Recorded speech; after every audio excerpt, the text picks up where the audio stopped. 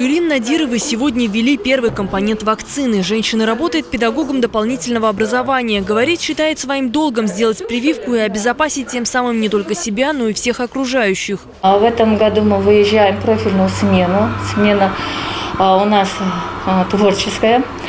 Э, едем в лагерь «Заря», так как мы будем работать вожатыми, пионер-вожатыми. Я считаю, что каждый педагог а, должен а, ну, долг такой выполнить, и у него ответственность идет а, сделать эту прививку. В 63-м регионе созданы все условия для того, чтобы людям было удобно проходить вакцинацию. Один из круглосуточных прививочных пунктов работает в Самарской городской больнице номер 4. Кабинет открылся в апреле этого года. Только в ночное время здесь привили свыше тысячи человек. И э, люди идут в любое для них удобное время, потому что график работы, какие-то жизненные ситуации у всех разные. И могут прийти и в 2 часа ночи, и в 5 утра. Очень многие люди приезжают у нас перед работой наоборот, начиная с 6 утра до 8 утра. Для них это очень удобное время.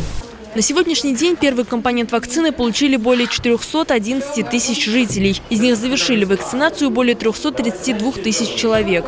Продолжается вакцинация в больнице имени Пирогова. Здесь прививают как пациентов, которые находятся в стационаре, так и медперсонал. Елизавета Бекетова, врач-невролог, говорит, решила привиться, потому что на работе высок риск инфицирования. Каждый день медик сталкивается с огромным количеством пациентов. Прививку Елизавета перенесла хорошо. Я как медицинский работник абсолютно э, в этом уверена, что прививка э, окажет только благоприятные действия. Пункты вакцинации работают также в торговых центрах города. Маломобильных граждан по заявке прививают на дому. Прививка добровольная и бесплатная. Мария Елчан, Николай Епифанов. События.